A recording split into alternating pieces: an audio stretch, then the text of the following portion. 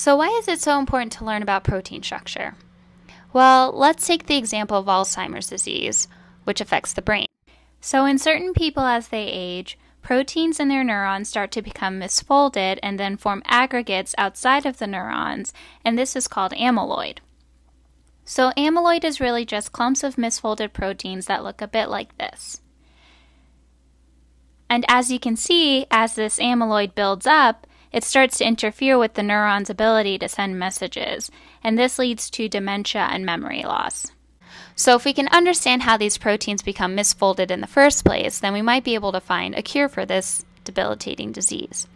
And to understand how proteins become misfolded, we must first understand how they become properly folded. So, before we begin, I just want to do a quick review of terms.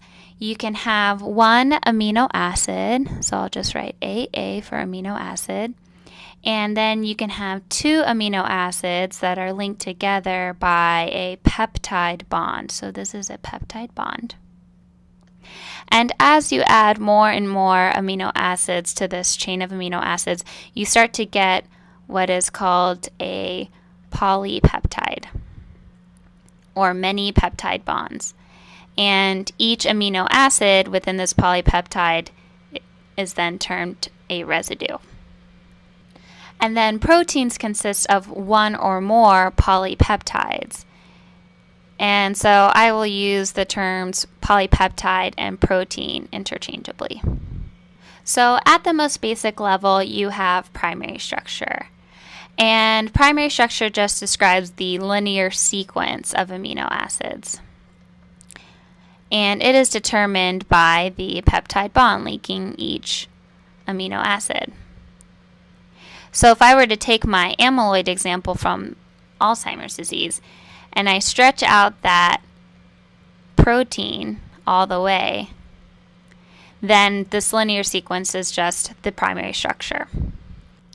So then moving on, we have secondary structure. And secondary structure just refers to the way that the linear sequence of amino acids folds upon itself this is determined by backbone interactions. And this is determined primarily by hydrogen bonds. There are two motifs that or patterns that you should be familiar with. The first of which is called an alpha helix. And if you were to take this polypeptide and wrap it around itself into a coiled like structure, just like so, then you would have the alpha helix. And the hydrogen bonds just run up and down, stabilizing this coiled structure. And another motif or pattern that you can be familiar with is with a beta sheet. And that just looks like this. It kind of looks more like a zigzag pattern. And the beta sheet is stabilized by hydrogen bonds, just like so. And if you have the amino ends and the carboxyl ends line up like so, then this sheet is called a parallel beta sheet. And then conversely, if you have a single polypeptide that is then wrapping up upon itself, just like this, and you have the hydrogen bond stabilizing like so. Then you have the amino end coming around and lining up with the carboxyl end. And you have a anti-parallel configuration. There is a third level of protein structure called tertiary structure. And tertiary structure just refers to a higher order of folding within a polypeptide chain. And so you can kind of think of it as the many different folds within a polypeptide, which then fold upon each other again. And so this depends on distant group interactions, so distant interactions. And just like secondary structure, it is stabilized by hydrogen bonds.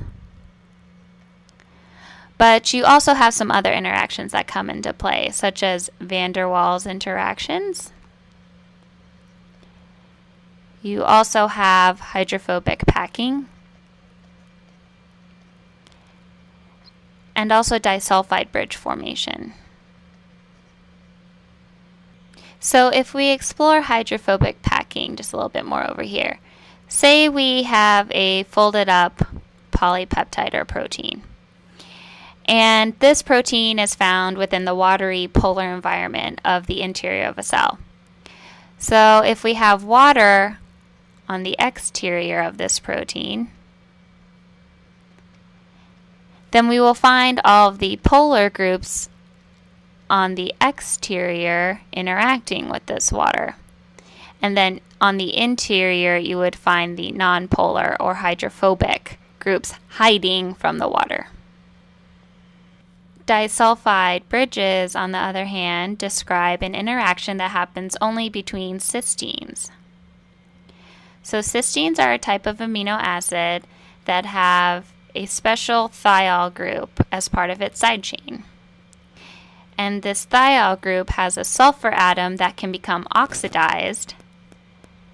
And when this oxidation occurs, you get the formation of a covalent bond between the sulfur groups. The formation of a disulfide bridge happens on the exterior of a cell. And you tend to see the formation of separated thiol groups on the interior of a cell. And that is because the interior of the cell has antioxidants, which generate a reducing environment. And since the exterior of a cell lacks these antioxidants, you get an oxidizing environment. So, if I were to ask you which environment favors the formation of disulfide bridges, you would say the extracellular space does. Then there is one final level of protein structure, and that is called quaternary structure. And quaternary structure describes the bonding between multiple polypeptides multiple polypeptides. The same interactions that determine tertiary structure play a role in quaternary structure. And so let's say I have one folded up polypeptide, two folded up polypeptides, and a third and a fourth. The quaternary structure is described by the interactions between these four polypeptides. And within the completed protein structure, each individual polypeptide is termed a subunit. Since this protein has four subunits, it is called a tetramer. And so if I were to have two subunits, it would be called a dimer, three would be called a trimer, and then anything above four is called a multimer. So the term for a completely properly folded up protein is called the proper conformation of a protein. And to achieve the proper conformation, you must have the correct primary structure, secondary structure, tertiary structure, and quaternary structure. And if any of these levels of protein structure were to break down, then you start to have misfolding, which can then contribute to any of a number of disease states.